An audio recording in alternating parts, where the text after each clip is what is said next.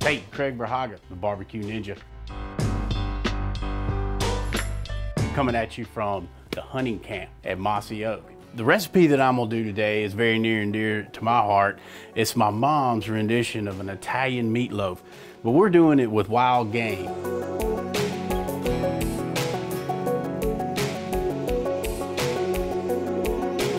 We actually have four different types of wild game here. We've got bison, we've got elk, we've got venison, and we've got wild boar that's gonna go into this meatloaf. We're gonna first saute these vegetables.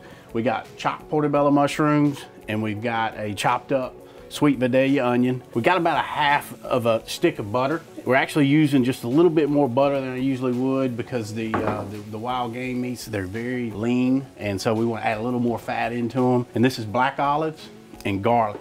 We'll get these sauteed up. We'll get the onion a little bit clear and portobello mushrooms to release a little bit of its juices. We're gonna add that to the game meat. All right, next we're gonna add Italian breadcrumbs and zesty Italian dry salad dressing. After the dry part, we're going in with the beaten eggs. We got two eggs here that we've got scrambled up really good. And after that, you just gotta get in there. You just gotta dive in. You gotta mix it up. You gotta get it all in there together. We'll make a loaf in the pan.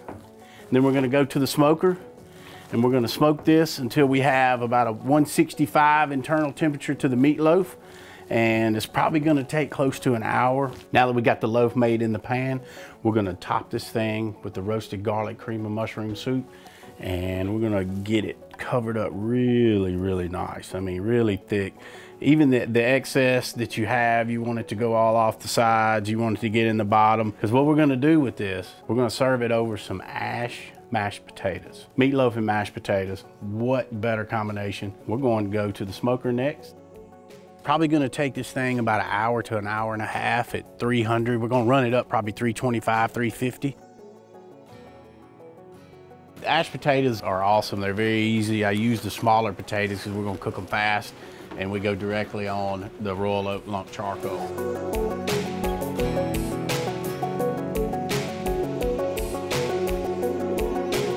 The lump charcoal is, is all natural, so you don't have to worry about, got a little bit of residue on there, that's flavor. You, you want to go till they're, they're fork tender, but it, they don't won't take long. I say, you know, 15 to 30 minutes man, it's probably going on an hour and a half, two hours. We, we've had it around 300, so it's been cooking pretty slow. Oh, look how pretty. That cream and mushroom soup has made a great gravy in there that's gonna go wonderful with the ash potatoes.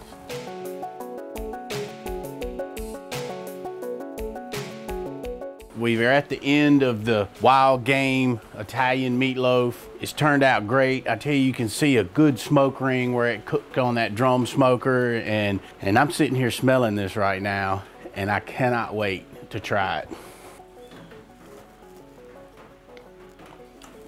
That's what I'm talking about right there.